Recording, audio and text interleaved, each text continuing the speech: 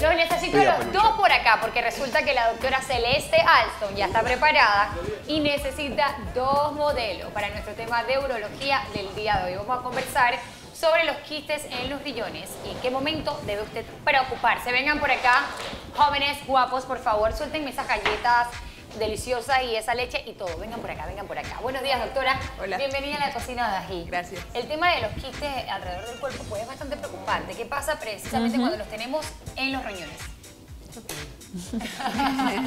bueno, siempre tra- tratamos de discutir temas que comúnmente vemos en la consulta.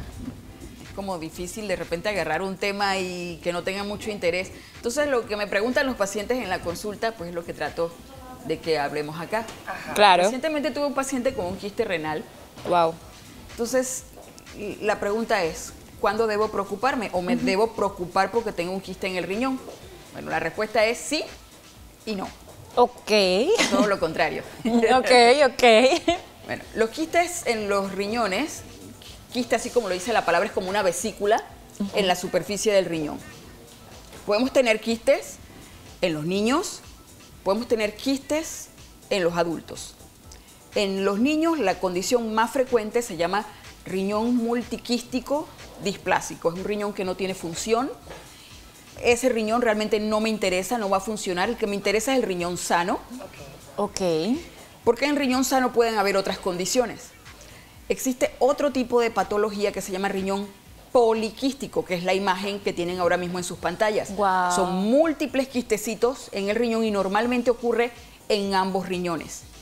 Y existe una condición que ocurre en los niños y una condición que ocurre en el adulto. Entonces, riñón poliquístico del niño, que normalmente cuando llegan a la adolescencia, gran parte de ellos puede llegar a insuficiencia renal crónica. Y en los adultos comienzan a verse desde los 30 años y cuando llegan a los 60, la mayoría de ellos pueden tener insuficiencia renal crónica. Los quistes Wow. simples se ven así como esa imagen.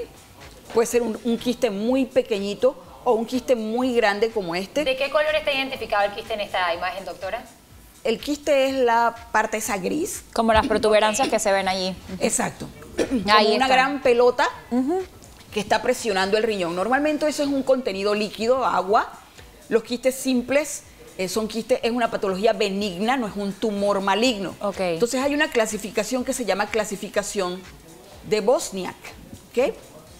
Que es una clasificación ¿Qué que es? se hace Exacto. con un CAT. Una vez que ven que un paciente tiene un quiste en el ultrasonido, y es un quiste redondito, que no tiene ninguna mancha, pues normalmente ese quiste no le hacemos nada, lo seguimos con ultrasonido. Y Pero ya. cuando le vemos alguna manchita al quiste, que sí te voy a pedir que vengas para acá, y mi otro Sí, claro. modelo, por favor, Vamos, vamos para allá. Alexis. porque sí es eh, Ale. bien importante que sepan en casa cuándo debo preocuparme por el quiste. ¿ok? Acuérdense que dijimos preocuparnos sí y no. Exactamente. Venga, Venga, ven. no es necesario. Ah, no es necesario que lo amarremos. No, no, así que ver. que no. Ok. Por si acaso. Ah, es para que ya muestre. para que se vea. Sí, Ah, exacto, no ok, te preocupes. Vamos a ponernos Nada. aquí, doctora. Entonces, tenemos, Me marcan aquí. exacto, el tipo 1, ¿puedes verlo? El quiste tipo 1 es un quiste que la pared es bien delgadita y es un quiste simple y normalmente no va a pasar absolutamente nada con ese quiste, damos seguimiento. Si se hace un quiste muy, muy, muy grande, entonces lo operamos. Ok. El tipo 2... Este es más o menos en tamaño real, doctora. No. Exacto. Ok. ¿sí? El tipo 2 es un quiste que igual tiene las- la pared bien delgadita y en el medio puede tener un septo, una división. Si esa división es así delgadita, pues también le damos seguimiento y normalmente ya aquí comenzamos a pedir un CAT Ok. para verlo mejor y poder clasificarlo. Cuando esa cosita que ven aquí en el medio, que es un septo, es un poquito más gruesa, entonces le llamamos 2F, que necesita que seamos más insistentes con el seguimiento. Y revisarlo. Ok. Vamos a ver. Pero cuando ya llegamos, ahora llegamos a la parte en la que sí me preocupo, ¿ok? En esa de allá, quiste renal, no me preocupo. Cuando llegamos a esta parte, ¿sí? Que tenemos un quiste tipo 3, Ahí está. que tenemos un quiste tipo 3. El tipo 3 ya tiene la pared del quiste más gruesa y tiene más divisiones adentro. Ajá. El 50% de estos quistes pueden ser tumores malignos. Oh, ¿ok? bastante. Entonces, a este yo sí lo tengo que tener mucho cuidado y lo tengo que operar. Este es el quiste tipo 4. Un quiste sumamente complejo, con pared gruesa. La mitad del quiste ya es sólida, tiene más septos. Esto es un tipo 4 y normalmente en el CAT se ve muy, muy, muy marcado. Ok. Este tiene un alto porcentaje de ser más un tumor maligno que un quiste simple y siempre se opera. Siempre Entonces se opera. tenemos quistes renales en donde normalmente no me preocupo, quistes renales en donde sí me. Y debo estar haciendo chequeos Doctora, constantes. Una pregunta. Esto tiene que ver mucho con lo que es la edad del paciente, es decir, eh, se me, toma encanta, me encanta tu pregunta. se toma más en Hay cuenta los quistes simples, este que está aquí, ajá. este quiste tipo 1.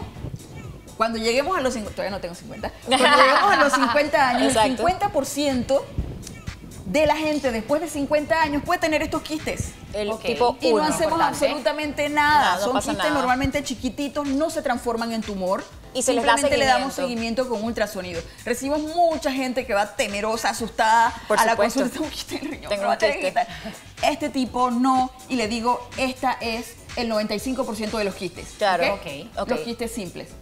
Cuando son múltiples quistes, como la imagen que vimos, riñones poliquísticos. Exacto, que ya son muchos, Ese muchos. es otro de los que sí me preocupo, porque esos quistes van reemplazando el tejido renal y pueden ir a insuficiencia renal en algún Y periodo de su vida. claro. Y es de carácter hereditario, o sea que si tienen en la familia alguien que tiene múltiples quistes en ambos riñones, comiencen a chequeo. ultrasonidos en sus familiares A darle también, seguimiento. sobre todo en los niños. Doctora, ¿cuáles son las causas, pues, de un quiste? ¿Qué es lo que pasa en el cuerpo que eso se genera? no hay una razón, o sea, de que tomes un medicamento Y eso te lo- eh, y que haga que te aparezca un quiste o que tengas un trauma, un quiste.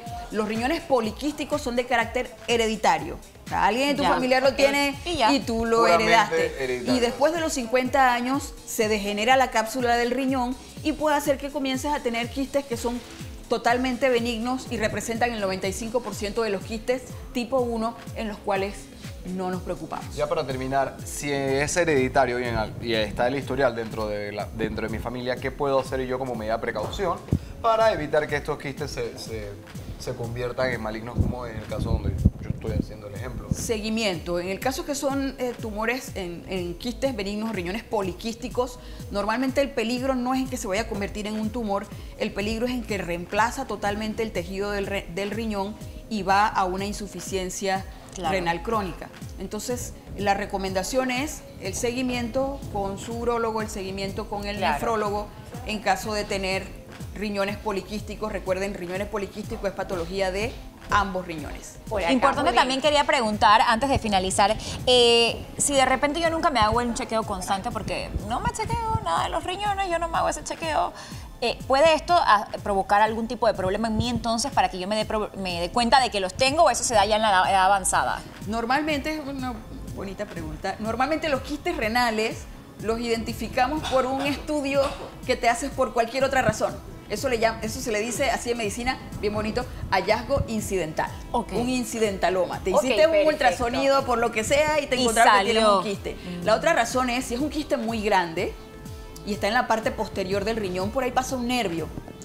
El quiste comprime el nervio Y y, te va. el dolor. Te la va. gente comienza a decir, tengo síntomas, ciática claro. o tengo una piedra. El dolor de ese nervio que se comprime va hacia la parte posterior de la pierna.